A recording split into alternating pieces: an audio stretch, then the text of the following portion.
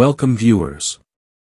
Despite being embroiled in a legal dispute with Daily Mail publisher Associated Newspapers, Prince Harry made an unexpected trip to London. Stay tuned, all is explained here. Please if you are new to my channel, take a moment to press the subscription button below and turn on the notification bell for the latest daily news.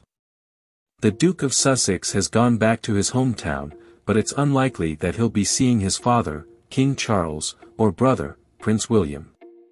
As King and William are on vacation for the Easter break with his family, the King is on his way to his first state visit abroad. Ingrid Seward, editor-in-chief of Majesty magazine and a royal biographer, told the Mirror that William would like to take use of this unique opportunity to spend time with his family. William receives the harshest criticism of all the family members and household, she told the publication. They retained Anmer Hall for just these situations. On the King's Norfolk estate, the kids are free to enjoy themselves with their horses and other creatures. That will be their final chance to spend quality time together before the coronation, she continued.